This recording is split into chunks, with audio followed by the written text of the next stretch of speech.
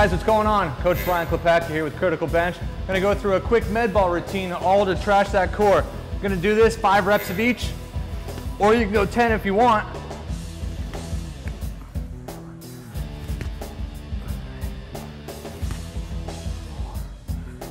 Next, we're going to a toe touch using the med ball, reaching up. Going right into a Russian twist, feet up, five each side, 10 total.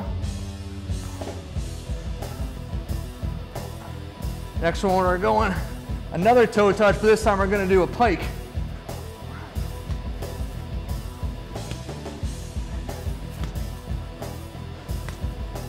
Going into a straight leg lift, five reps, holding the ball over the chest.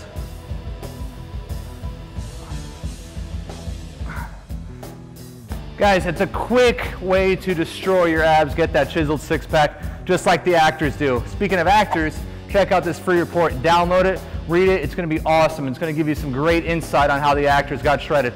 Like us, follow us, guys. Again, thanks for everything. Have a good one.